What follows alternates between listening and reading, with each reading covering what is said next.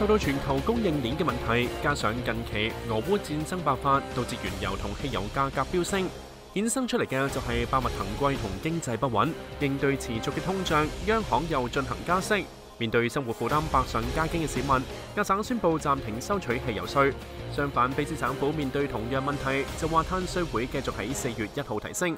究竟市民可以点样应对？时事平台星期日晚八点三十五分，我哋一齐讨论呢一个嘅议题。